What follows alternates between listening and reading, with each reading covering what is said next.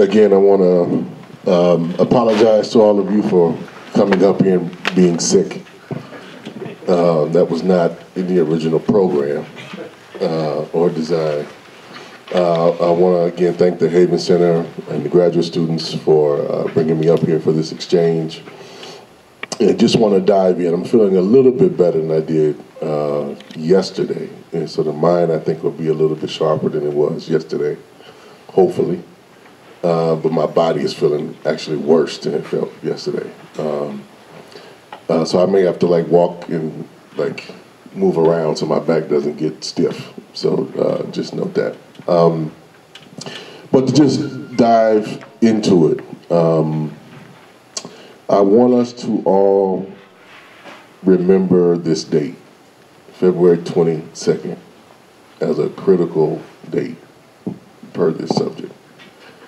Uh, why?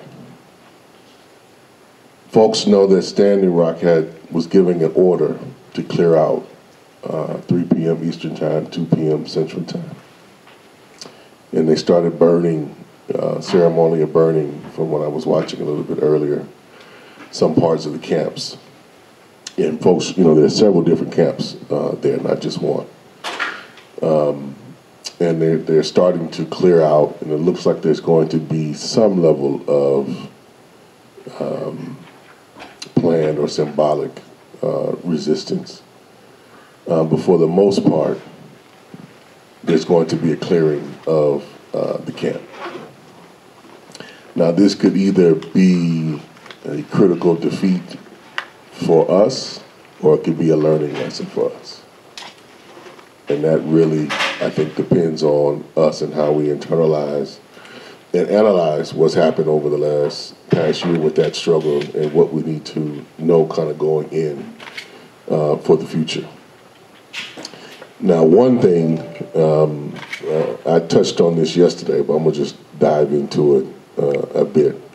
And people can agree or disagree. That's, that's why we have these kind of discussions. And we'll, we'll have a lively and plenty of time for debate and discussion early on, I mean later on. But uh, I cite this as an example, not as an isolated uh, incident, that a lot of the strategy uh, was situated around Standing Rock, around Obama and elements of the Democratic Party making certain decisions favorable to ending the pipeline, similar to what happened with the, the first phase of Keystone.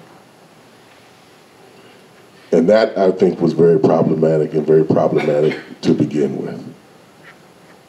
I don't think that we fully uh, assimilated all the lessons of what happened with uh, the Keystone piece, um, in that it, there was a temporary halt, but it really led to Obama's uh, all of the above strategy, which was not a victory for our side but it demobilized some aspects of our side. Right? It demobilized some aspects of our side. And, you know, as much as I love uh, Ian and uh, Tom and all those folks, um, I did not think what happened when the when the veterans showed up in December was a victory. I thought it was a punt. And what I'm specifically referring to is when Obama uh, issued that, that small little uh, notice that they were going to halt and do some more investigation, et cetera, et cetera, et cetera. And, and it got raved and passed on as it was a major victory. Um, and I'm not downplaying it as a victory, but I, it's not the ultimate victory. It's not the final victory. It didn't stop, you know, what needed to be stopped. Uh, and I also want to put this day in, in context to just the political theatrics of kind of divide and conquer. Because there's another thing which to me was also very uh, symbolic that happened today. So after uh, a whole, what, year and some change of uh, the Trump campaign and now administration uh, playing up anti-Semitism in some of the most horrid ways. In the most coded ways. Uh, they tried to do a repivative the last two or three days, right, uh, around what has happened uh, with the desecration of uh, the Jewish cemetery in St. Louis. Now you put how they're playing this in context to everything else that they've been trying to drum up. Like, why the 360? And then uh, for me, I think, you know, it, it, draws the question around the value of uh, life. And what do I mean by that to try to connect it to? So one of the arguments that has been raised consistently around Standing Rock is that that is sacred ground, sacred territory, and that uh, their ancestors are buried there, which is well known and a well established fact, actually. But the Army Corps of Engineers, the oil companies, the government in North Carolina, uh, North uh, Dakota, and now obviously, clearly, you know, the Trump administration has no regard for their traditions, for their life, for the desecration of their ancestors. So why play this pivot? Why do one against the other? It's a clear indication that some of us are more important than others of us. Some of us are worth being in, allied with or worth neutralizing than others of us. And that is part of a deliberate strategy, an old white supremacy divide and conquer strategy. It's not without uh, intent, it's not without uh, forethought and planning. Uh, and I, this is one of the things that I want to, to warn. I think for me, I'm, I'm very tired of hearing that Trump is like uh, stupid and that he's just spontaneous. Um, and that he doesn't kind of know what he's doing. I think we're totally selling uh, him short, and we're acting as if uh, some measure of intelligence might save us from the terror that he might unleash upon us. When I think, in fact, he's a very calculated man, and actually a very intelligent man.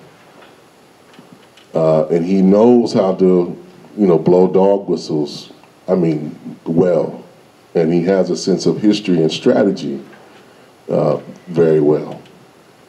And it's been interesting, you know, to see how he is, um, he and his team, and I do believe that there is a team, it's not just him, uh, it may not be a broad team, but it don't necessarily need to be a broad or a deep team, uh, uh, at this point anyway. But I think him and his team have been very deliberate from day one. And to me, it goes back to uh, how he announced his uh, presidential run this time. And remember, I say this time because he's ran for president before. I don't know if people know that. This wasn't his first go around running for president.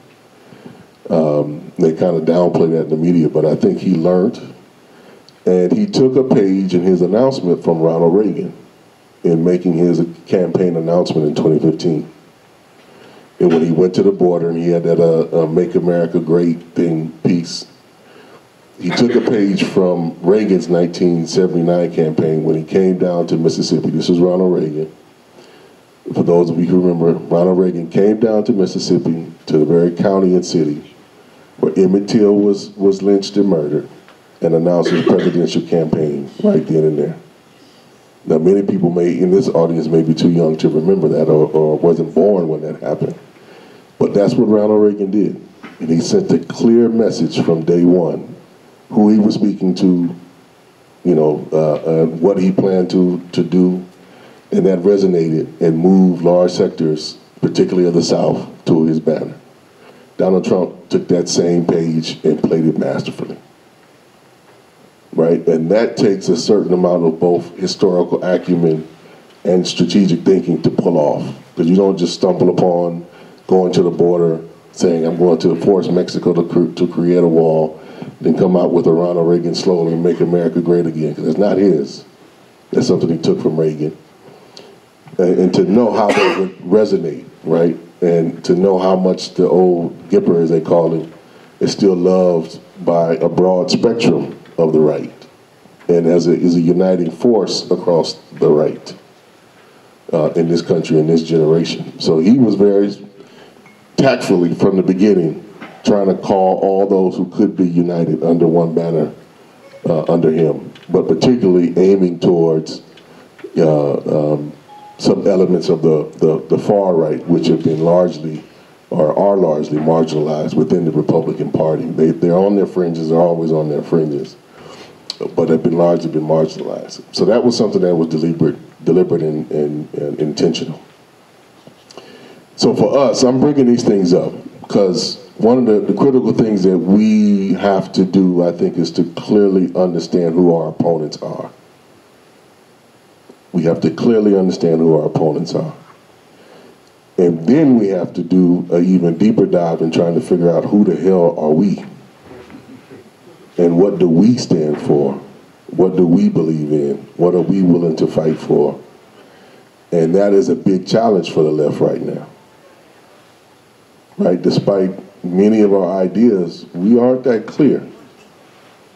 Would you all, would, am I, would you agree? Right? We aren't that clear. And we're on the defensive more often than not, which is not a good place to be when you don't have much money, you don't have your own media, right? You don't have many of your own uh, cultural or political institutions grounded in, in communities. So being on the defensive, in our case, is a terrible position to be.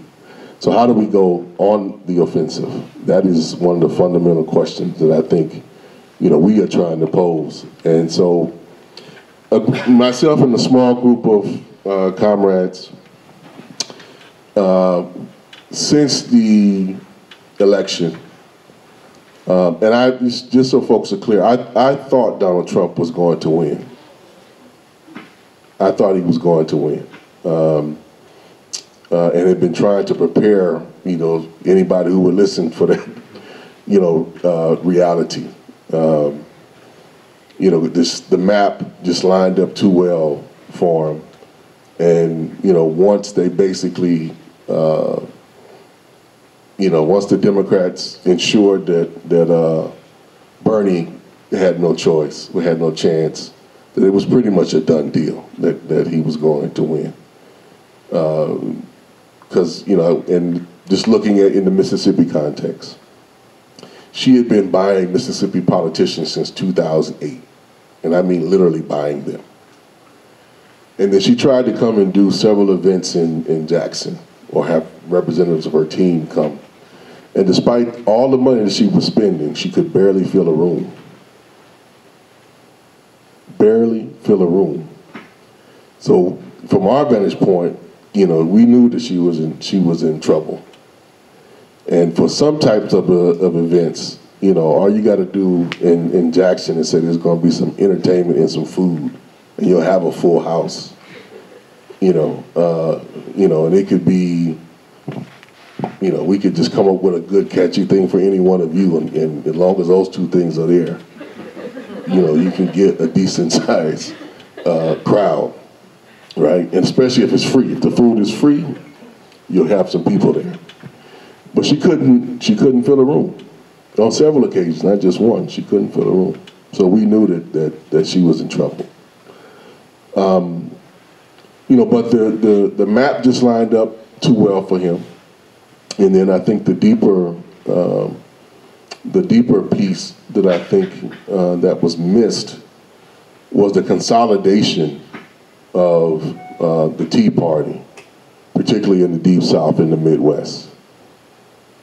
And I think that's a piece, you know, that we are, uh, uh we don't pay enough attention to. And what do I mean by that? So there's so much focus on Trump, Trump, Trump, Trump, Trump. There's not enough focus, in my opinion, on what is now happening in the 33 states that the Republicans completely control. They are one state short of being able to, you know, have a constitutional convention majority. And for those who don't know, if they have that 34, that means they can change fundamental aspects of the Constitution. which they have long held, some of their think tanks, we put it this way, some of their think tanks have long held as a strategic aim and objective of them having. And they have a clear set of programs. They don't all necessarily agree, but they have plans upon plans about once we get to that point, we're gonna change this. Once we get to that point, we're gonna change this. Once we get to that point, we're gonna change this. We don't have anything corresponding to the same thing. Anything corresponding to even half of what they are, are thinking and doing. Now, some things that do work in our favor in terms of us figuring out who we are. Now, they are going to, the, the Republican side, they are going to have to go through some major transformation to become anything more than a minority, a consolidated minority. Like the way that they have constructed themselves, you know, with a deep-rooted centeredness and, you know, just old school white supremacy, you can dress it up in, you know, so many different ways. But they haven't broke with that. You know, even with several attempts at trying to break with that. Uh, attempts at trying to bring in different Asians, different groups of Asians, attempts at trying to bring in different groups of Latinos. They still haven't fundamentally broken with that, right? And so they are still largely constructed around a diminishing white population, at least diminishing in terms of what the overall growth rate and projection of, of growth in this country is. So they, at this point, are still happy with being a minority. And I think they're becoming much more strategic in understanding that we can be a minority if we are able to rig the system in particular ways. So yesterday we talked about gerrymandering, right? And how that's set up to protect certain minorities, just given the way that the system in the Constitution is, is set up about proportionality and around how many people per district, et cetera, right? And that was all always set up uh, because, you know, the way this country was set up, there was always, there was a divide between the North and the South that was there from the, from the, from the jump. The North being more populous than the South, and the South having a particular species of property that, that couldn't vote and couldn't participate in the political, political process, right? But they wanted them counted, which is where the three-fourths of a human being comes from as part of the, the toll to give one side a particular advantage, even though you were counting people who in no form or fashion could be represent or could, could represent themselves, right? So that is the basis of the system. It's always been skewed, it's always been off, and it's never been anything remotely democratic from Jump Street. Uh, and I say that because I don't, I think the left needs to give up any pretension around maintaining the sanctity of the Constitution. Which is, I think, sometimes a hard argument for us to really delve in. But from my vantage point, there's not much worth saving about the structure of this empire. There's really not much worth saving, right? Um, let's take the time, energy to do something completely new. Now, it might have some elements of the old in it. It may be somewhat inevitable. But we don't have to be beholden to the past in order to create something in the, in the new. That doesn't mean that we take away, uh, that for us, that means we abandon the argument around democracy. For me, I mean, I think it's the exact opposite, right? Upholding democracy is not the same thing as defending the Constitution. And that is sometimes how we get pigeonholed. At least I see that in, in Mississippi. We get pigeonholed. And I was like, no, I'm arguing for something far beyond the Constitution. Far beyond what you guys ever intended, you know, for people like me and my ancestors to, to ever, you know, participate in and be engaged in. And I'm arguing for something far beyond your legitimacy to be able to, you know, enforce upon me or upon anybody else, which is, which is another critical piece. So I think we need to get rid of that, that kind of hold and argue for something new. I think we really need to dig deep into the radical imagination. I don't think we do enough of that. I don't think the left does enough visioning. And we used to be the side that did most of the visioning. you know, most of your great science fiction came from people who was on our side of the equation, not the other side of the equation. right? Um, so I want you to think about that, what that means, you know, because that speaks to human aspiration, what we could be, right? What we could be, what we could do, what we could aspire to. And I think that's a space that we need to reclaim. And I think we need to abandon these arguments that, you know, people in the United States are, are too conservative. You know, we can't talk to people because they're too conservative. I don't think that's true. I think, you know, despite what many of us may criticize around Bernie Sanders' campaign, I think the last 10 years with Occupy, with the emerging for movement for Black Lives, I think we're finding that there's there are far more people out there wanting something profoundly different than we give credit to. Right, profoundly different than we give credit to. I think the issue is we don't we haven't created either the, the vehicles to reach those folks. Right? And that is one of the deep, I think, problems of the left.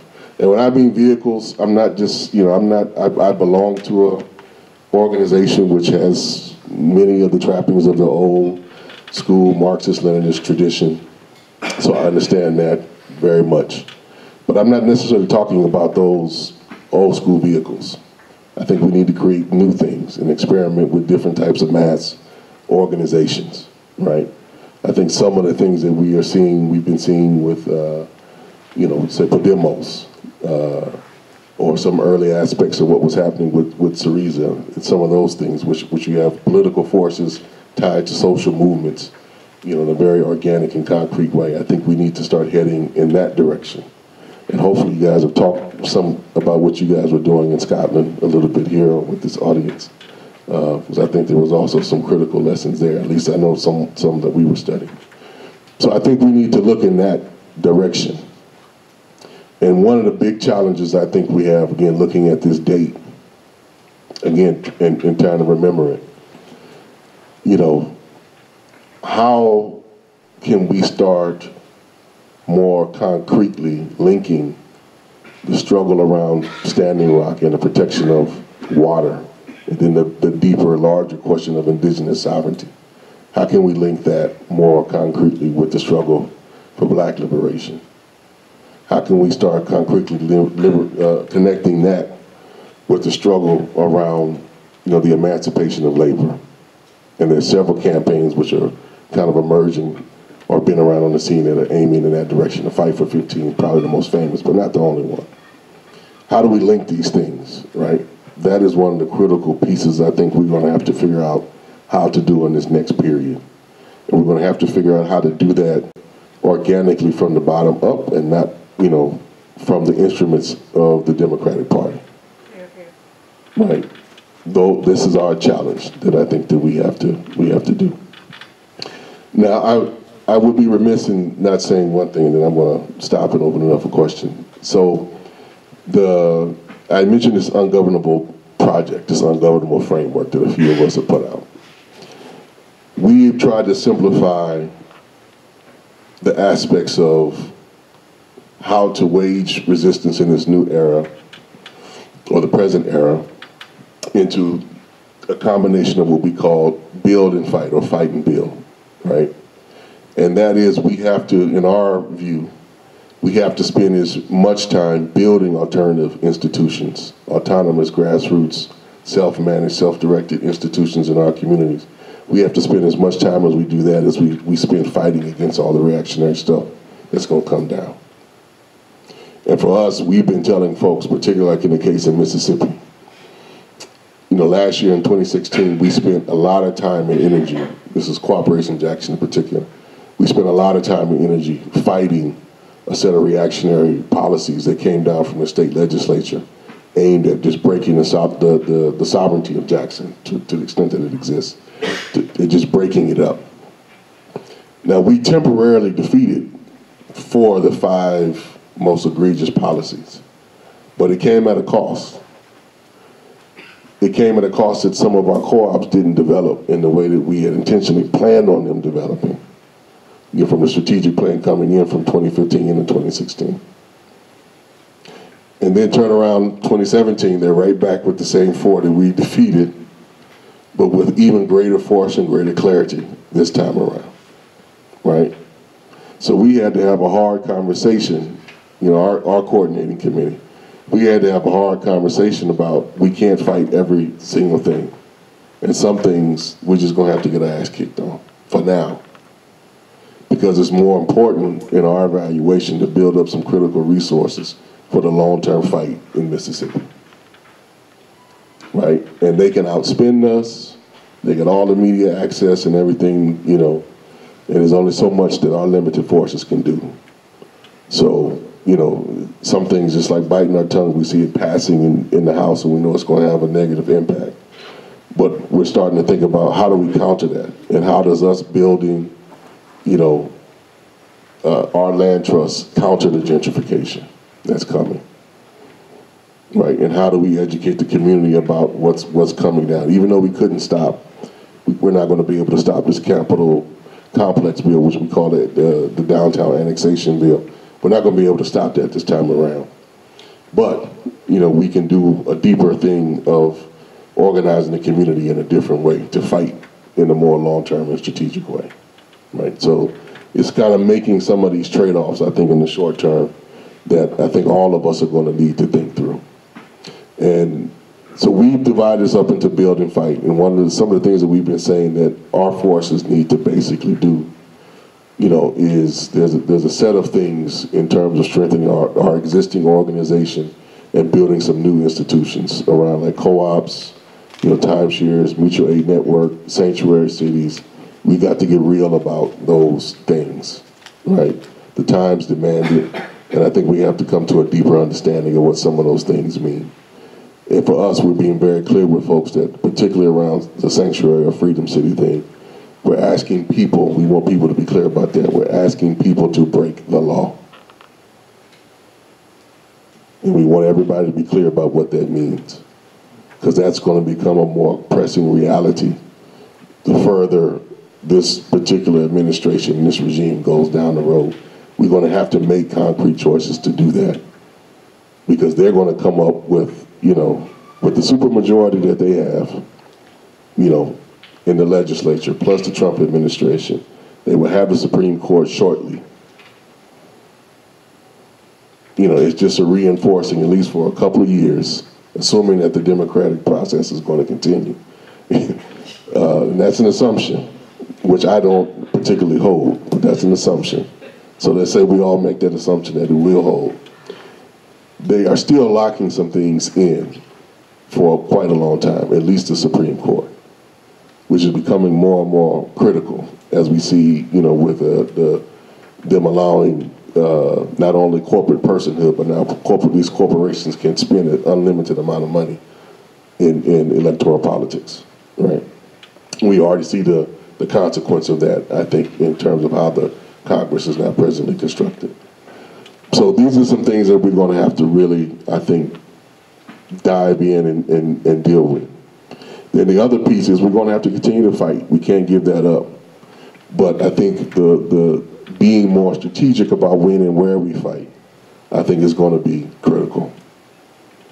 And that may come as like a hard pill to swallow, but the way I phrased it, you know, at least in, in uh, some of the, the, the conversations we've been having, you know, in, in our internal uh, uh, operations and cooperation Jackson. So we've been trying to put it to a younger audience. Most of our membership, for those who weren't here, most of our membership is very young in Cooperation Jackson. And so they want to go fight everything. They want to go to Standing Rock. You know, they want to go back up to Ferguson. They want to go here. They want to go there. And to a certain extent, we always support that. You know, like go check it out, get some experience. You know, but there's a certain level of saying, okay, look, let's say, you know, Trump calls for you know, this was a couple of weeks ago, so it's now it's happening. Let's say that Trump calls for the, the, the, the total destruction of the camps at Standing Rock. And then the next day, he calls for putting the, the, the federal troops uh, into Chicago like he was threatening.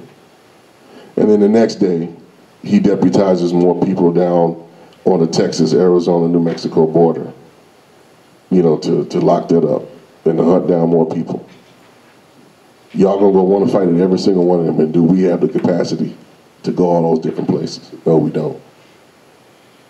No, we don't. And the thing is trying to get them to understand, and they're being, being in Mississippi, they're very brazen about the change and what it means. And it has been a significant change. So one of the things that we are saying is that the second Reconstruction, if you understand that framework, you agree with that framework.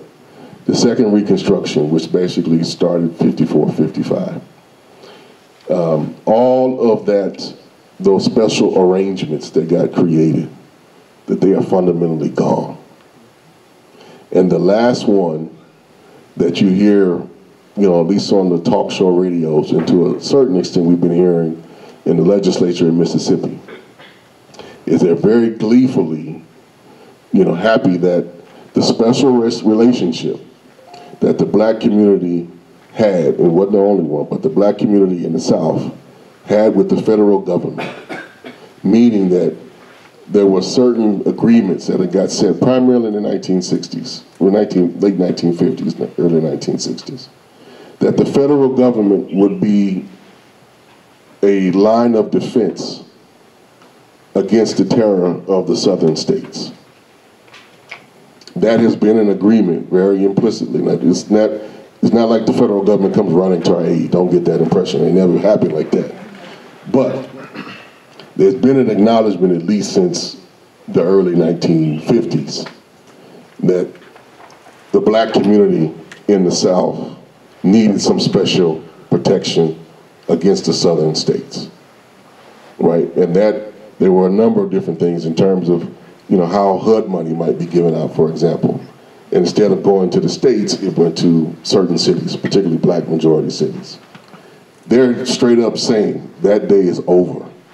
There's nobody coming to protect you anymore. And that is now a political truth.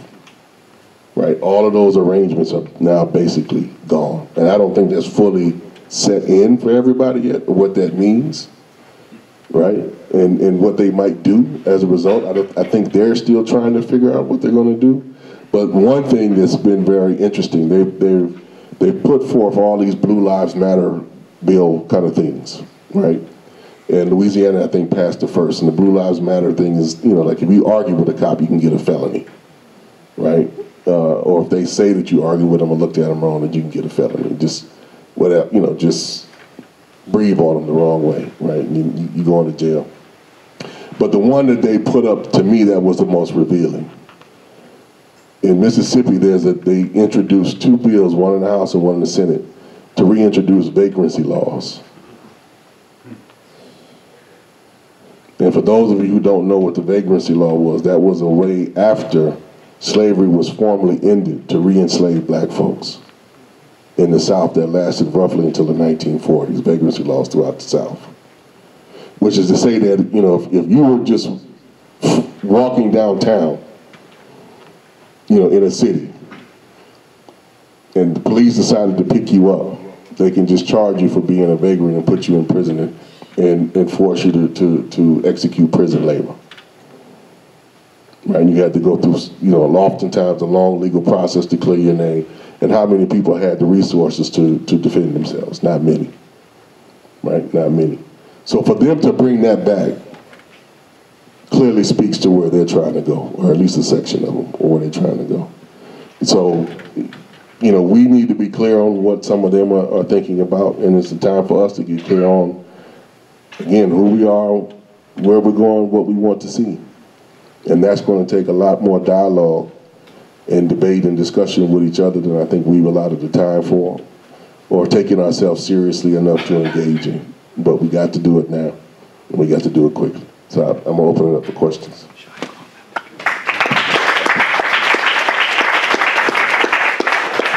So you may have talked about this some yesterday, and I'm sorry I wasn't here, but can you talk about the relationship between the work of building cooperatives as independent structures and working to gain control in a municipality like Jackson in the political system and how those two relate to each other in terms of a long-term strategy? Um, is there any other question? Because I'm gonna deal with that, but yesterday I think there, I missed some questions. So maybe take a couple of them at a time. Yeah, um, this is maybe a hard one, I don't know, but, um, something, uh, the tactics and the strategy that you sketched out, um, how would you relate that to the branding that's needed to get people to organize? To the last To part? Branding, branding. So, the way I see it is that, uh, we've been thrown to our back feet and we're now in reactionary mode. Um, What we have as resources are the, the supposed safeguards of the Constitution. So one way to brand this is to say, these things are not constitutional. Um, ACLU might uh, launch um, uh, vanguard actions like they're doing in Milwaukee right now, based on constitutional protections that they want to make sure are preserved.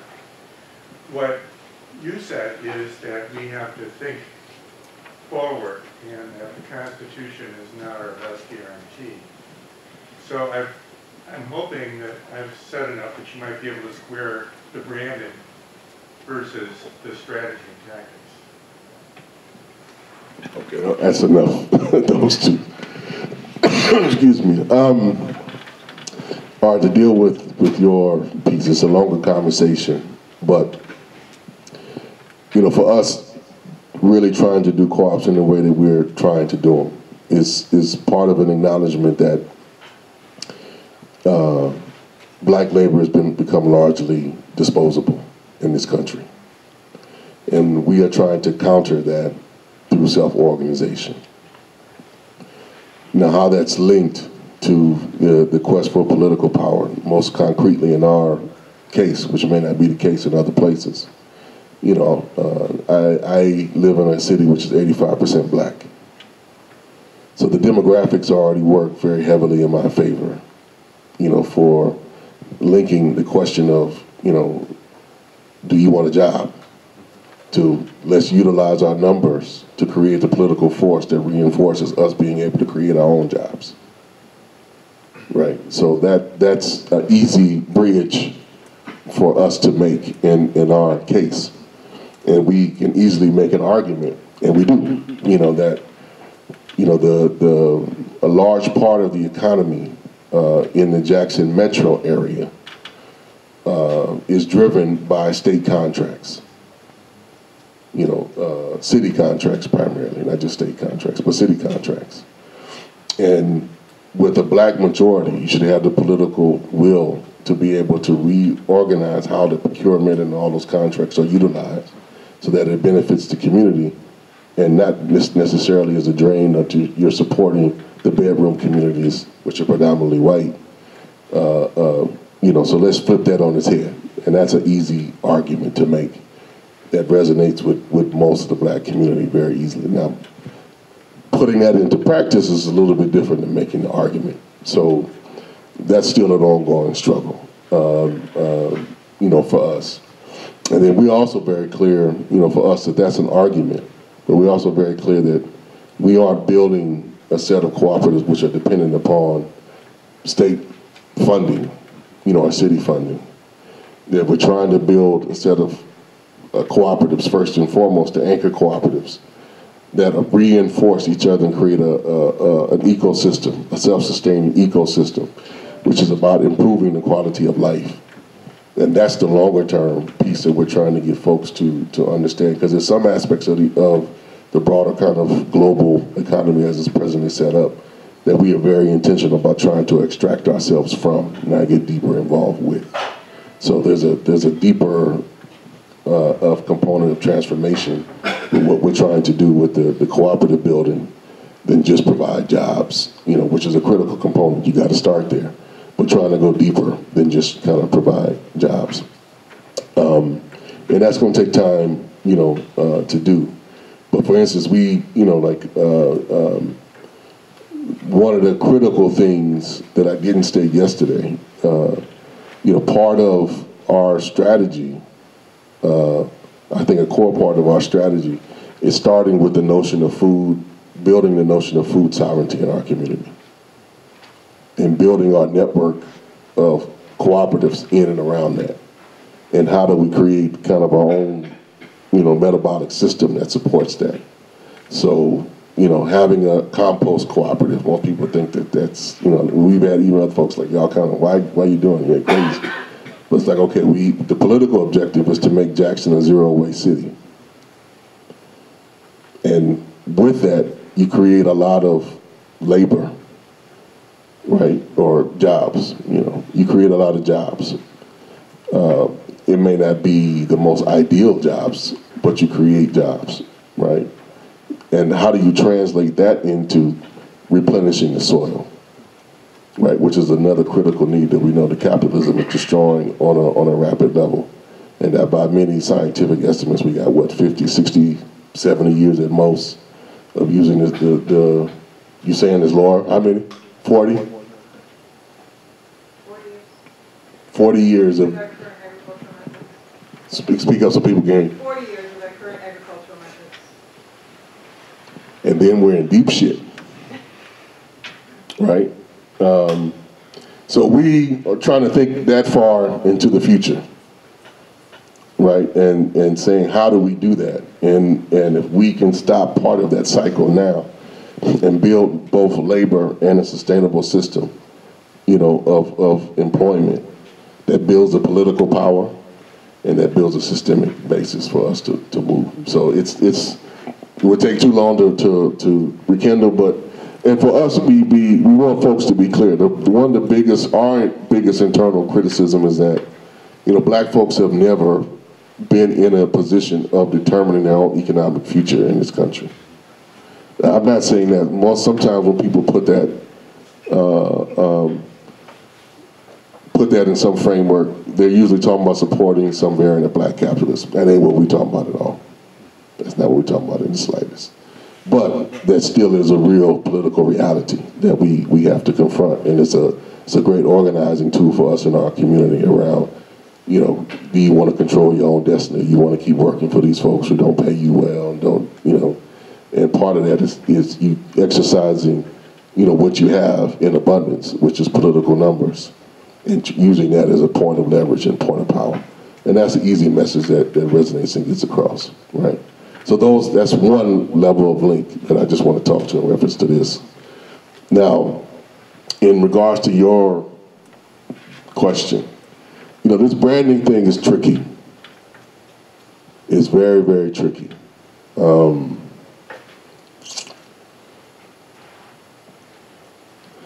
let me say why from my uh, vantage point, why I think it's tricky. Uh, I'm assuming that given what Donald Trump has said, and thus far given his inclination to do, or at least try to do what he said he was going to do, there won't be that many civil liberties left pretty soon, as we understand them.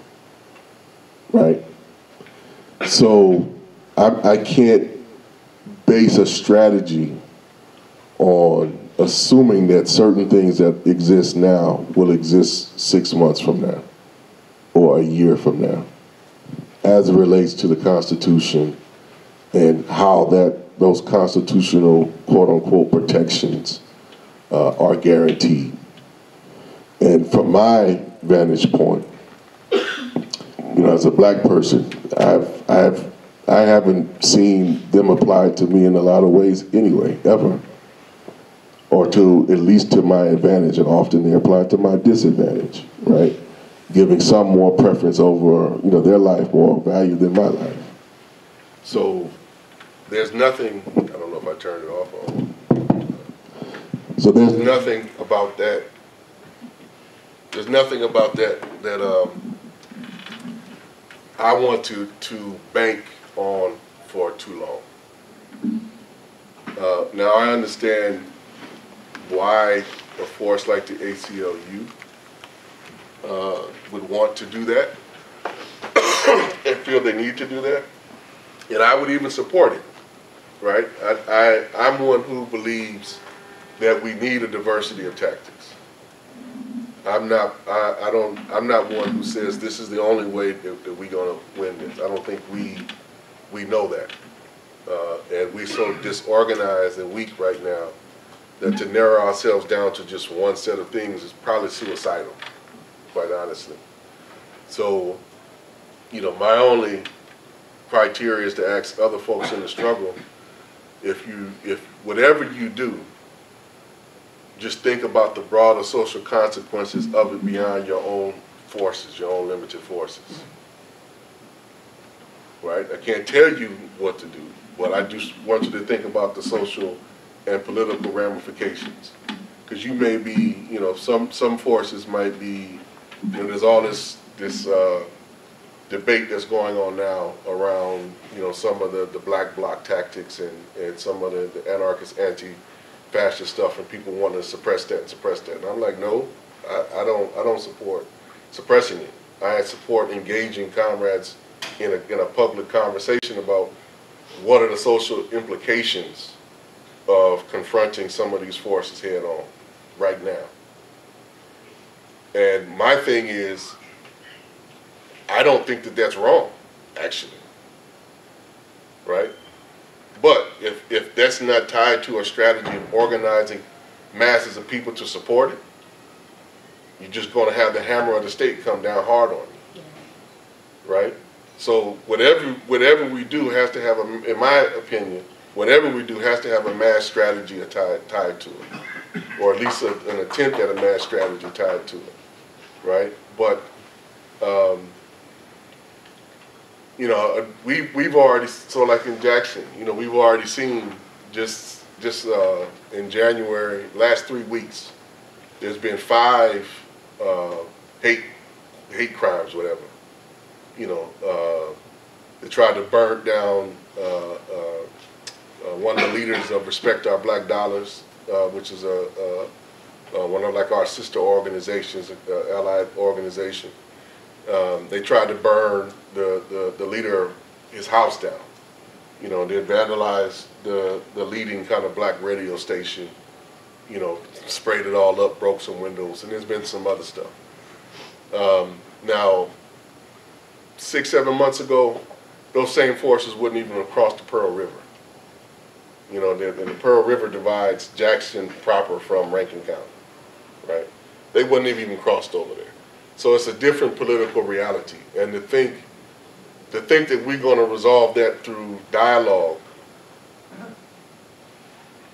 you know, I'm like, no, that's not, you know, that's, that's not what's going to, to have that. Do that, does that mean we don't try to dialogue with forces? We, sh- we should. And I think the question is, can we, if, is dialogue going to lead to isolating those forces? I would argue under present terms, probably not. But it doesn't mean that you don't, you don't engage in it, but you don't rely upon it. That's the critical thing. I'm not relying upon some dialogue to save me from a Klan attack. I have to organize my community in a totally different way to repel a Klan attack. And that's not something I'm a brand, that's not something I'm gonna be talking a whole, a, a, a lot about publicly, but I think in many communities and throughout this country, we are getting to that point. And I think, I want us to recognize that. It may not look the same in Madison as it looks in Mississippi. You know, there may not be the, the same targets in, in, at least as the first order, uh, uh, in Wisconsin as it is in, in Mississippi. But, you know, as I was saying, you know, the, what I want most white folks to understand is that being white is not going to protect you from what they have coming. Right? I think that deal and that, that set of Long gone. yeah, that's that's over. You know, and I think they're going back very, very intentionally to a 16th century social order. You know, uh, which there was some privilege for whiteness, but not much. You know, uh, you know, particularly for women, or if you were Irish, or you know, you were, you know, uh, Italian. Good luck to you. You know, within that order. So, um, when, you know, after the occupation and when it was of the Capitol here and when it was diverted into the recall and the Democratic Party took over and there was no strike and it was watered down, um, the next smaller thing that happened was the arrest for singing at the Capitol. Mhm. And my, um, button, which I never made, was you have constitutional rights until you use them. Also, um, I have no idea why, but the Washington Post put out uh, Top Secret America before Snowden. And you could put in your zip code, and you could see where all the FEMA and all the organizations were. All the fusion centers and stuff. All the yeah. fusion centers and, you know, and literally, you know, what three are like in the Capitol. You you even can read if you just Google, because they're not hiding it yet, because nobody's looking at it, some of the minutes of some of the things. I mean, maybe not the most top secret things. And I kept saying, look, the LRAD came from Homeland Security Fusion Cop grant. Uh, Where are these cops coming from who we've never seen before? You know, and this type of thing. But because these were first time and don't see a long history and we had a good life in Wisconsin, people didn't want to see it and they just called me too angry. And that's why I don't have friends. I said, well, you know, singing I Don't Want You Million Mister is not a lullaby, you know, and so I've just watched this happen. So what's happening is people are just concentrating on the small thing they did. I guess my question is, is there a book, is there something to like open people's eyes that this is a fight? You know, like, it's, it's, we can't do just this or that and it's going to be okay. I mean, how do you tell a congregation who's named after somebody who died down south, supporting people, that raising money through Amazon is like really something, I mean, they kind of know they're conflicted about it, but they do it. Mhm. And that all those things are connected. And do you go to younger people? Is that, There's a couple of questions I hear in there, so I'll try to get them, but it's taking more, there was one woman with the flower. Thank you. So this, this is amazing work you're doing with other people and just thank you for coming to share it with us here. Um, I'm gonna ask an annoying question. It's, it's, it's not antagonistic at all. I completely am on board with everything you say, but I just kind of want to hear what you say about this. So, you mentioned that your organization comes out of a Marxist-Leninist framework in some way, shape, or form, right? Where, like, on that model, it's working people, period, right? Like, all working people are united in, in a way.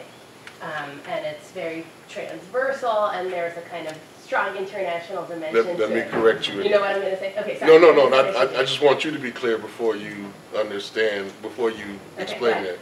So it, it's the applic, it's, for us, it's been some applications of the Leninist style of organizing. Ah, But okay. we, we are fundamentally an organization that has been struggling for the, the national sovereignty and independence of black people, or what we call the new African nation. Okay. So it is, it is not about the universal liberation of the working class as a first priority, okay, which makes it different than your standard Marxist-Leninist organization. okay. So that actually helps, so I think then th- th- there's less of, um, there's less of a question here, oh, everyone's okay. Um, But, but my question is, is, it still holds, because you made a big point just now about the need for, for deep unity, right, in this moment of resistance. And my basic question is, do you see any kind of tension between a model that says, for instance, we're gonna make Jackson, Mississippi this incredible place with worker cooperatives, with timeshares, with food sovereignty, with black people having real rights in a way that is not true, say, anywhere else in this country. Do you see a tension between that, to put it in a mean way, just to kind of highlight the question that I'm trying to ask, a like bubble model of what you want to build, a good, a fanta, a beautiful bubble, versus like, basically, how does that jive with the deep unity that you yourself are saying is so essential and yeah so, so how does that work is it that jackson will be a source of inspiration um, or do you see it kind of a totally different way have i have i I- I- I- No, no, no, I got you. I think I got you. Um, good question, good question. Jamala, then, So, uh, the point about vision really resonated with me. Um, and I know you haven't read my seven-part series on, I have read some of it. unblocking the, sh- no, it's just coming out. Oh, well, I've read the book. Yeah. yeah, Okay. But this is com- A different thing. different because Okay. what I'm doing is associating, uh, blockages in our movement with chakras of the body and saying, here's what we need to do with the vision. No, I ain't seen one. that yet. So, uh, so that's coming out on Black uh, dot this week.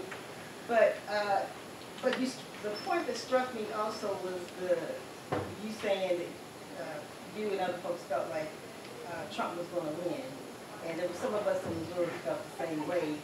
Um, and then when it came down that, uh, Clinton lost, there was a lot of,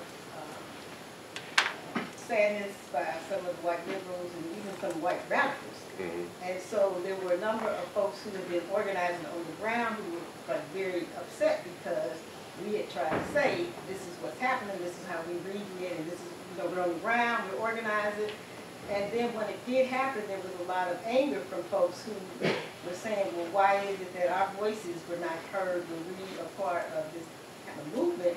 And it seemed like it came down to like class and race. So, uh, so when you talk about how we are going to internally build a deeper unity, uh, that was the lesson I think we learned from that, not to be beating people over the head that they didn't listen to, that true, but it was the why. And if we're gonna be moving forward, and, you know, and, and you howling to the other folks, uh, the, the the oppressor, that all voices count, but in our movement, all voices are not counted, then how are we gonna rectify building some real, uh, genuine unity? So it kind of bounces off that question about the bubble. So let me stop there. So what was, I saw your hand and then it was hand there, right? Then, then, it- okay, so that'll be the next three. Um, okay, let me start with yours. Um, we're not interested in building a bubble. You know, they can crush that real quick. Um, so, uh, if, if we aren't building and supporting, uh, other cities, you know, in building strong, uh, movements, then it's kind of for naught, you know. Um, uh, you know, this notion of municipal socialism, you know, we, we push it, but we don't think it's something that in and of itself is gonna save us, you know, given the strength of the state government and given the strength of the federal government and just the nature of, of how U.S. imperialism works. So we, we don't have no illusions that, you know, uh, you know, we're gonna protect some, you know, we're gonna create some paradise and then shield it off from the rest of the world. That, that ain't gonna happen, you know, so, um, that's not what we're interested in. I mean, I think our thing is, look, this is, this is where we live, this is where we, there's some conditions that are favorable, and, you know, we're gonna, we're gonna try to move it as, as deep and as hard as we can. And, uh, you know, hopefully it can be used as, as a reserve that, that, you know, will inspire, provide some resources down the road for other places to, to use as a launching pad to, to organize, you know, so that's the, the aim and, and objective, you know, that, that we're, uh, uh, you know, hoping for. And like why we come to a place like Madison or St. Louis, we, we- we don't have no illusion that we're gonna do this by ourselves. You know, like, you know, this is too much, this is too much of a beast and too complicated a, a, you know, dragon to, to slay, you know, uh, by ourselves. So we're just like, look, we, we think we found some things that work.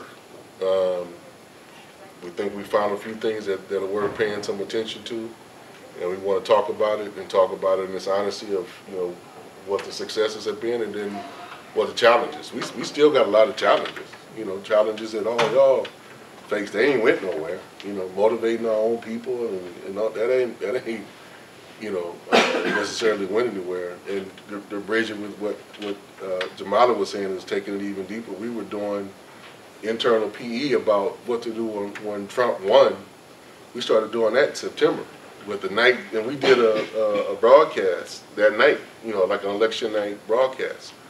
It was too damn long, but, you know, it was like six, seven hours that, that we were on and had people from, uh, you know, the comrades from all over the country and a few folks internationally were on. And I remember after it was over, and it was like one o'clock in the morning, despite all of that, people were still sad. Despite all the prep, some of our own members were still sad that Hillary lost. And it wasn't they were Hillary supporters, it was just like, I don't believe what just happened, you know, like, even though we did the analysis, it was still like, I don't, you know, I was just like, okay, you know, let's, it's on now, let's go, you know, let, you know, but it was still even on our own force, it was a lot of moping around. I don't know what to do. Like, we got a plan. Y'all don't. We got a plan. Let's go with the plan. You know, wake up tomorrow. You know, we'll. But it took two or three weeks. You know, I think for folks to really kind of get out of the fog, and I would say even for our own forces, despite all the criticism um, that people had about the Women's March, you know, amongst forces that I'm close to, there was a whole bunch of criticism. I was literally, you know, hoping that that was going to be a major success because I thought that it would be a psychological boost to our, our side of the equation, right? That the, that the turnout would be substantive. And I was so happy that it was, right? Despite all the other criticism people might have and how much money the Democrats put it, whatever. I think it was a good psychological boost. And I think we needed that on, on a, on a deep level, right? And I think this, the shock is still there. And why I was saying and noting, like, to, let's mark today as a critical turning point. Because just two months ago, you know, Standing Rock was being celebrated and touted as a major victory for our side. And now there's being basically a, a, a quick reversal in what is going to be the psychological state of our side of the equation. And that is something, you know, trying to work on a deep democratic process, I'm learning to take psychology a little bit more seriously, right? What people's actual mental state is, like what, and where their spirits are for the fight. And, and how much, you know, how important that is, you know, because I, um, part of it just my personality, but I'm I'm one of them kind of people. You just tell me what I need to do, and I don't need much motivation. Like as long as it makes sense, like okay, this is gonna get me here, like I'll do it, and and just to be self motivated. But that don't work for everybody, right? Having the clear plans and the clear strategy, you know, that don't that don't work for everybody. And I think we we got to pay a lot of attention to, you know, uh, how we how we engage you know, the people in the mass struggle, right? And trying to uplift people's spirits and, and get them to see the possibilities even when times are tough or when times are rough.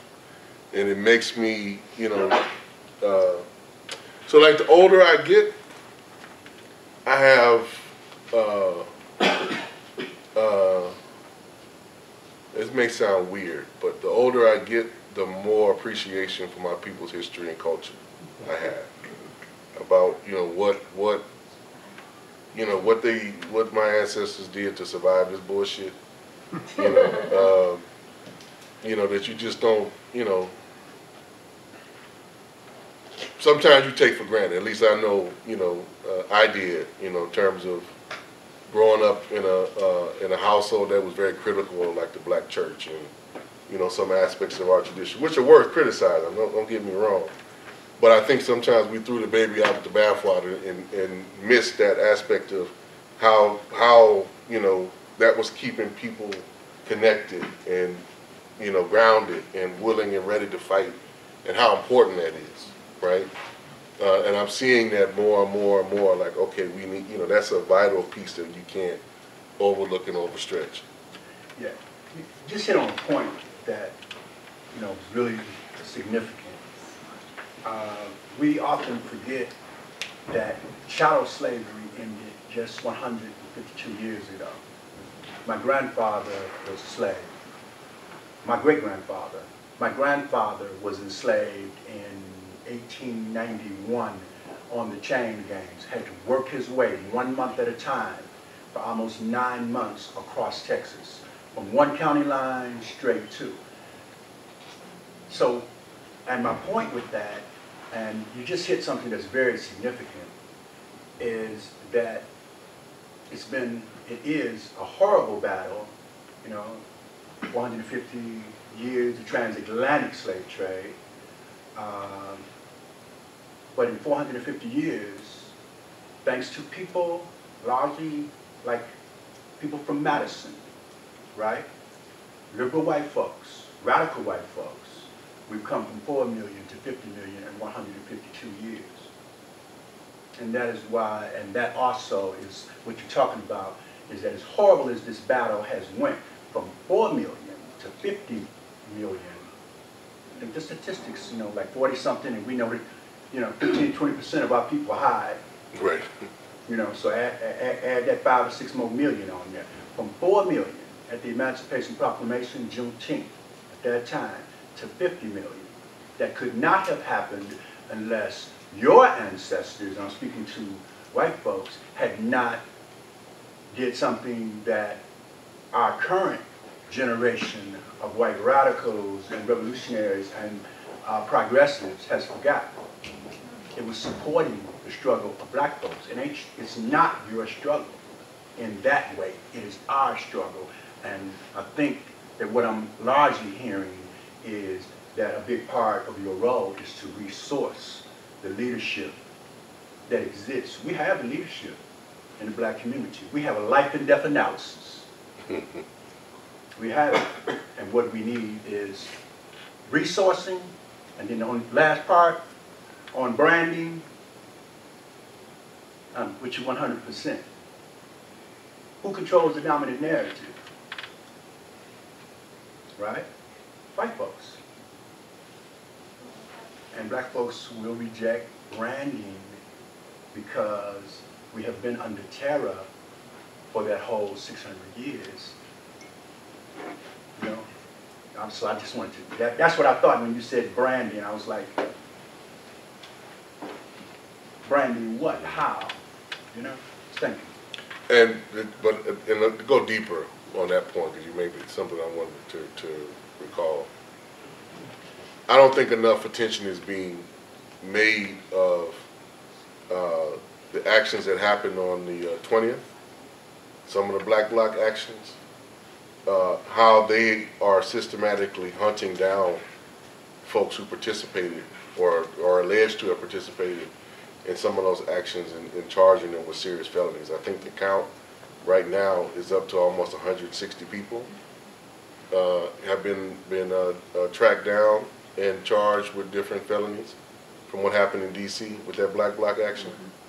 And, you know, and the, the, the piece that is, I think, particularly interesting about it, that there's a couple of articles that I've read, and I've been following it very closely, is, you know, how they're using different kind of, uh, you know, people wear the, the mask and stuff like that, but they're, they're using all kind of, you know, these new computer matrices Facial recognition. beyond facial re- recognition, right? Or The- see through and- no, not even, I mean, there's different kind of things. It's like, I know you're, I can tell that you're five foot tall, your shoulders are this length, and, you know, a number of different things that, that how advanced the, the technology is. So to, to get to the point where you, you can't hide in the way that you think that you can hide. But I think too much, some aspects of a, of a certain type of branding makes it easier for you to be identified. And that is where some of my weariness comes from, right? That I, I think that some things need to be very public and structured as a force of resistance, and some things need to be very anonymous. And I think we need to know when, when, when is which and what is what, and, and not mix the two, quite honestly. So there was a couple of hands that, that, that there was three, there was one, two, there was one, I'm sorry, but anyway. Okay. Um, so you made a comment that I really agree with, which is that the left is limited by its imagination or the lack of imagination, and we need to grow that. And I want to explain why I agree with that and ask a question as well. The question is about March 8th, which is International Women's Day, and the call for a general strike of women and their allies on that day. And I wanted to get your sense of what you think of it. Um, as people know that um, there are women's groups in 30 countries around the world that have called for a day of action on March 8th. And um, Angela Davis and um, Keeanga-Yamahtta Taylor, Nancy Fraser, and a bunch of socialist feminists put out a call a couple of weeks ago um, honoring this day of action and saying that we should have a general strike in the United States. And when I read that, I was like, oh my God, this is impossible. It's great, but I don't think we can pull this off. And in that sense, I was limited by my own uh, imagination of what is possible, right? I mean, this is what they said about 1908, the women who actually struck uh, and for whom international workers in New York. And for whom International Workers' Day has been named and so on and so forth, they said women are, can never be organized. Women laborers can never be organized in the US, but they struck, they won, and so on and so forth. So in my union, my experience is that I have been able to take up this call. I'm the vice president of my union. Uh, I'm in the faculty union at Rutgers. I took this up and said, we can't strike right now, but we should have a vision, a long-term vision of what it's going to take to actually have gender equality and gender justice and racial justice. And honestly, I've been fighting this for the last 10 years in my union, right? But the way I see it is that Trump represents both a curse for all the reasons you mentioned and a blessing in disguise. Mm-hmm. Because you're able to tap into people's anxieties at this moment and they're open to hearing about all the things that you want to do, not just defensively, but offensively with a vision to actually bring about a different kind of you know, workplace and all the rest of it. So all that is to say, um, what do you think particularly about this call for a March 8th general strike? Um, the women's uh, march people, by the way, have endorsed it. And what I thought was impossible has now become quite possible because Elle magazine, not exactly your bastion of radical thought, had an article quoting Frederick Engels and Rosa Luxemburg. so obviously the impossible is possible today. So that's my first question. My second is now in my own work, I found that working with the Democratic Party has been a dead end, um, and you know trying to reform this party and all the rest of it is quite honestly, in my opinion, a waste of time. So I wonder what you think about that and what you think about, about the Our, Our Revolution um, movement. Actually, I have very similar to the party in this country, the conservative uh, capitalist party, neoliberal ideology versus the Democrats. I was wondering, you're in, I, I agree that reforming the party seems like a waste of time, but I was wondering if, it also seems to be a very weak institution. And I wonder, would be your um, take on taking over or whether that's, whether that's worth any, worth any effort or whether it's not even worth the, that it's, that's, that way, not even worth the time. So let me take these two questions, then I saw other hands. There was one, two. Okay, I'm gonna try to be quick, quicker, because I, I- I know we got like ten minutes. So, I'm gonna be participating in March eighth. How many, how many of y'all gonna be participating? Is it a march, just an action? No, I'm saying March eighth. Oh, okay. No. I, I think it's gonna be whatever we make it to be, whatever, we- wherever we at. Um, Yeah. But, I mean, I'm, I, I'm for call, you know, whatever we can pull together, whatever we can muster. Like, I'm, I'm gonna support it as long as there ain't- ain't no reactionary BS. Um, Whether I think it's, it's, uh, possible to become a, a, a, a general strike, to me, it's inconsequential on a certain level. And I think we want to maximize and encourage people to participate rather than say, you know, if everybody doesn't participate, it was unsuccessful. I don't think that that's helpful for us right now, right? As opposed to if you can engage, engage. If you can't engage, you know, that's, that's cool too, because there's other ways and there'll be other times in which we can, you know, fight back, ain't gonna have to fight back. One day in and of itself ain't gonna do it, it ain't gonna make it or break it. So, you know, I, I think whether people get in this debate, should we call it a general strike, should, I mean, that- to me, it's irrelevant at this point, right? I think you- you just keep continuing to encourage folks to stay involved. And I think the, the question, however, is we can't keep mobilizing over and over and over. At some point, we gotta start organizing. Right? So that is, that is my only criticism. I think at this, like this first one hundred days, it's gonna be a whole bunch of mobilizing.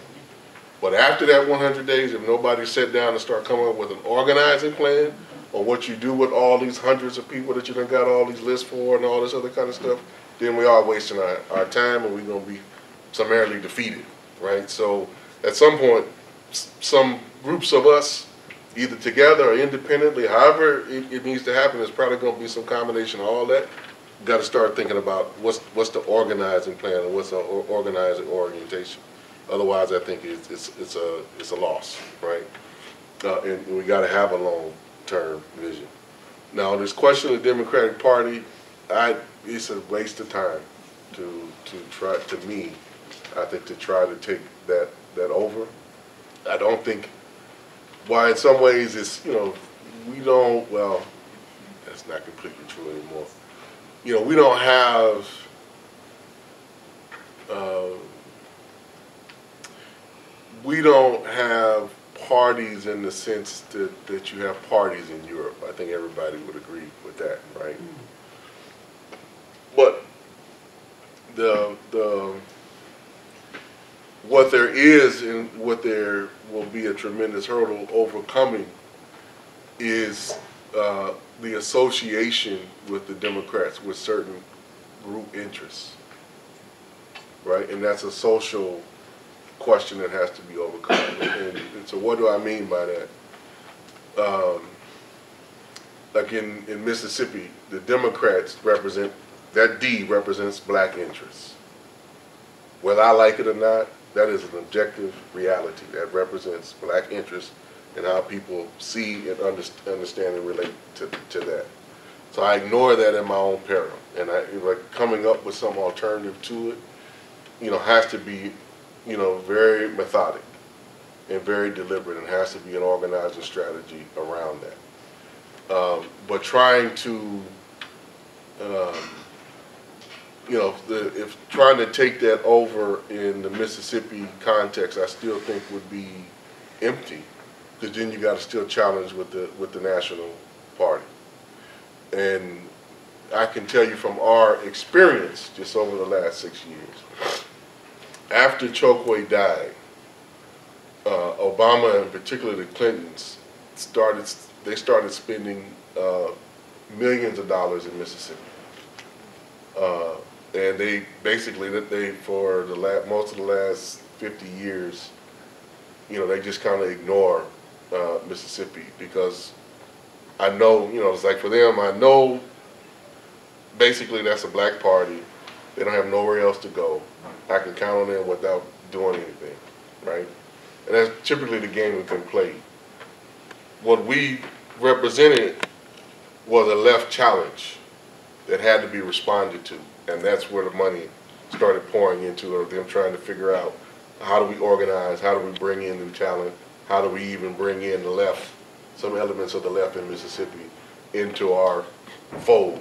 But not to advance a left agenda, to just to bring them into the fold. And so that's one of the key struggles that we're trying to get people in, in our circles to understand is, is it more important for us to advance our agenda or is it more important to keep certain relationships even though they, don't necessarily benefit us? And there's a whole set of certain questions that go with that about, well, how do you extract yourself? And I would say, you know, honestly, we haven't, we, we are not on the same page. You know, uh, the Malcolm X grassroots movement and, and uh, New African people, we're not exactly on the same page uh, around it. I don't mind saying that in public because I think, you know, uh, this is part of what we're struggling over to, to get this clarity. And it's not easy. It's not a cut and dry uh, answer. We're going to have to struggle through this, I think, very deeply and profoundly.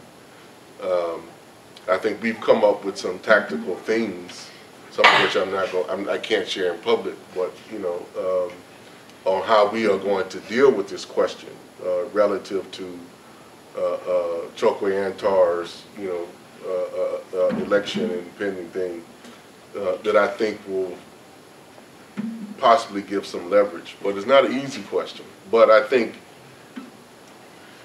as many forces on the left are clear as a starting point that the Democratic Party cannot be reformed, I think is a basis that I want us to start with.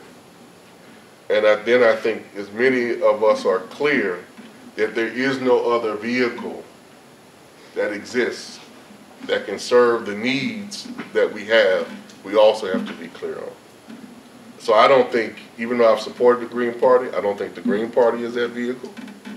I don't think the, uh, uh, uh, was it, Our Revolution, I don't think is that vehicle.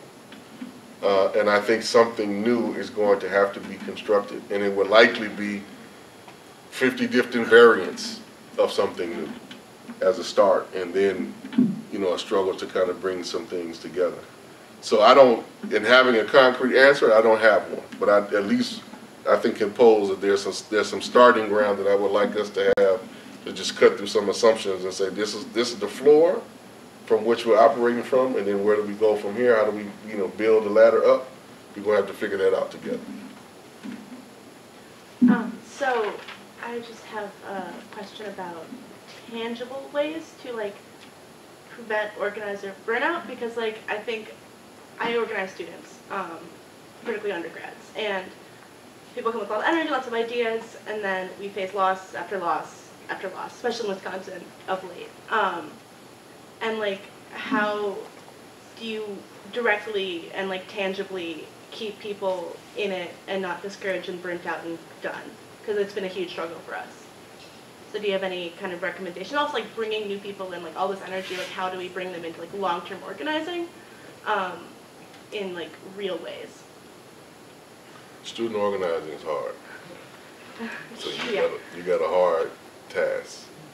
Uh, I found community organizing to be easier than, student organizing, just because of the, the natural rate of turnover. Um, you know, um, it's been a long time since I was a student of anything, um, but, you know, my years, um, the first time I came to Madison, actually, I think it was 92, first and only other time I've ever been here. And that was to uh, organize, uh, or help organize like a national Black Pan-African student group. Uh, And it was a very weird exchange here, but, um, but I, you know, it was, we finally got to a place where, um, you know, we built up, I think, a good core on a national basis, and then everybody graduated. Right? yeah then you got to start all over, again, right? And then by that time, I was like, I'm, I'm graduating too, and I, you know, I'm just, uh, it's not my role to be organizing students. So you, you, you have a hard challenge, but um, it needs to be done. Um, and I'm saying that to, to you specifically, you know, to help ground you in, in understanding the turnover. And that's just a natural part of the population that you, you're dealing with. And I think for me is, is kind of what, what level of training can you provide for folks to take, you know, that experience and encourage them to be organizers once they leave school. I think that is probably to me the, the, the most long-term thing that I think you can provide, which doesn't necessarily answer your questions around how to secure victories here, you know, which is immediate thing. But I think giving people the tools necessary to go to whatever profession or whatever community they're going to be in the long term is, is the major measure of success that I think that you would have as an organizer. Um, and here, you know, I don't know what necessarily what, what the, the, the, the issues are here, but I think the, the thing, um, the thing that I found, um, uh, most helpful on my student organizing days was making sure that there was a, there was a solid mix of culture and, uh, you know, political activity, political action. And the two had to be mixed, because that always had to be mixed or intertwined. Because that was going to kind of keep people's spirits up, regardless of whatever struggle that, that, that we had. And sometimes people found it that, you know, I know, remember some of my comrades, it was still good comrades. You know, they, they was like, you don't like poetry, so why do you support these poetry events? Said, it's not for me to like poetry, they like it. That's the point, you know, like, if, it's gonna encourage people to be engaged, it's not a matter of whether I like it, it's a matter of whether it's gonna help us, you know, keep people, on and can we then turn it, can y'all write some political poetry? Can y'all write other things in service of the struggle that we're doing? You know what I mean? But those were the things that I think I always found to be, you know, um, most helpful. And where I learned this from uh, was a battle with my mom about hip hop. I'm, I'm, I'm like the second generation of hip hop, and uh, I, you know, in the mid '80s, '84, '85, you know, arguing with my mom about hip hop was going to be the next revolution, and you know, this was going to be all this, and she was like, "It's just music." And I want you to understand. I was like, "No, no, no, no. This is it. This is going to be. We're gonna do it. We're gonna finish the work that y'all didn't finish, and blah blah blah." blah. She was like, "It's just music," and so, but there was a there was a bridge where she in the long term I remember I think a couple years ago it was my 40th birthday I wrote her a little uh, note because what for for my birthday I usually take my mom out for uh, you know for dinner or something like that right that's my me and her tradition uh, I'm like you don't want to be honored here and she almost died giving birth to me so there's a particular you know, thing, and then, you know, we've had up and down relationships, but we're real close now. But in that having those intense battles with her, and I mean, it used to be intense. You know, she didn't like it being played in her house. I had to keep the noise down.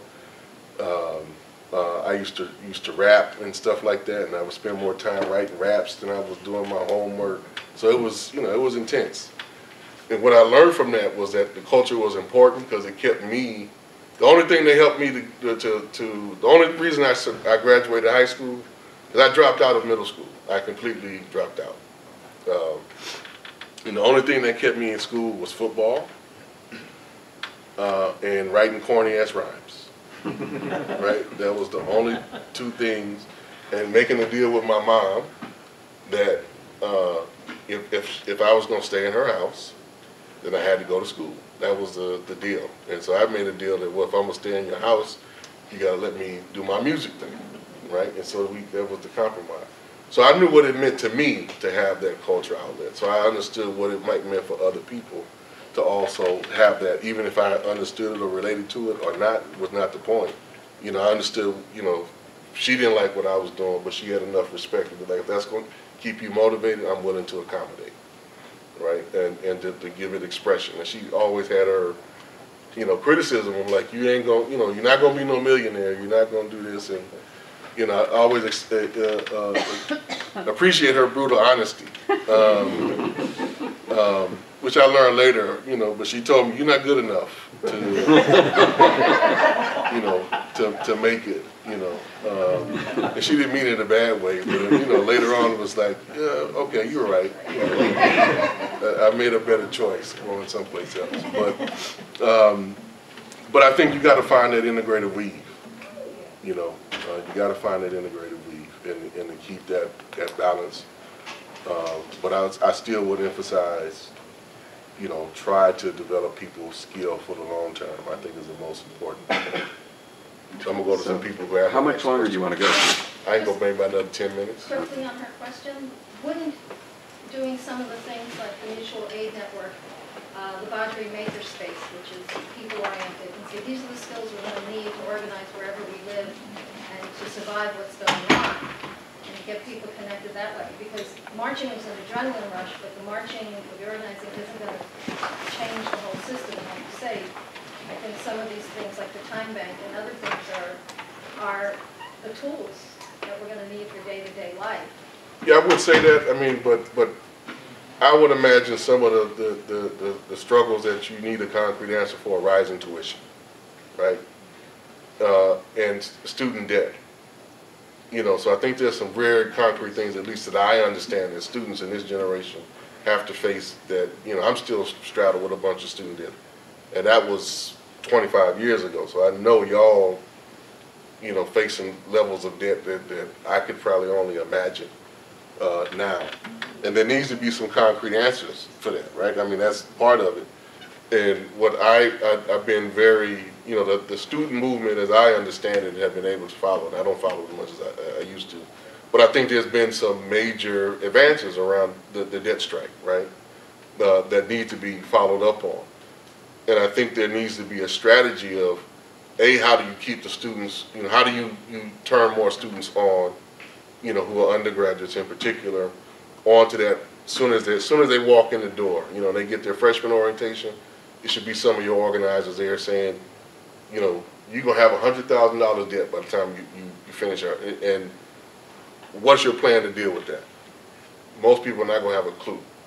But I think showing them and then saying, well, let's work on creating a movement that's gonna deal with your personal situation and the situations of millions of people is a way to start. And then like how you walk them through four, five, six years, you know, of being engaged is one piece. But I don't think you're gonna win that struggle without other folks involved outside of campus seeing it as a critical issue. And I think the movement has done a decent job of doing that, which is why I was on the Democratic platform and why Bernie picked it up and then Hillary gave it some lip service. But I still don't think that there's an organic enough mix with, say, folks who are facing medical debt, right? Like, there needs to be an organic link about debt, period, that I think the students are still, I don't see a connection being made there around how do you sustain this movement to have a lasting impact beyond your student life? Because it's gonna have an impact on you beyond your, your student life. Those other things, I think those are like build and fight for an alternative future. But I think the things that's gonna turn these students on is I don't wanna have, you know, uh, uh, a hundred thousand dollars worth of debt, you know, hanging over me for the rest of my life. Um, you know, so I think those things. Something that exists in that vision, along with, like you said, that's their major thing. I think even the history that they don't understand that it used to be the student paid twenty percent and the university did the eighty, or the government, or Mhm. that it was almost free. I mean, they, they really don't have any idea that that's how it was. Well, I think that's, that's been part our job to, to give people an orientation. But I think the larger part of the movement piece, which is not on necessarily students, we need to be coming up with a solid vision on how we're gonna create free tuition from, from, you know, free education from birth to death. You know, because if I could afford it, I'd be in school right now. You know, there's a whole bunch of shit I still wanna learn. You know, and I'm not in my grave, you know, so, you know, uh, but I, I can't afford it right? And I'm sure there's a whole bunch of people, if they had the opportunity, would want to learn a tremendous amount of things that people, you know, to fulfill our human potential. We want to build a society where that can be realized, right? Full human capacity and potential can be realized. And I think that's something that, that, you know, getting people to understand how do you move from the immediate and concrete to your situation to the broader universal questions is something that we need the skilled organizers to do. But one doesn't negate the other, and often I would still want to say that I want to come at you with what, what's going to open your mind first, and then you know walk through how this is connected to other things. Just trying to unload you with how you know, come join me in utopia. That typically don't work. You know, uh, you know, uh, uh, you know. So uh, uh, we can't abandon you know what what turns people on and what they feel is, is challenged and start there and still meet people where they at and then, you know, try to move them to other places. That can't be abandoned. I mean, that's basic organizing one-on-one, you know, it's,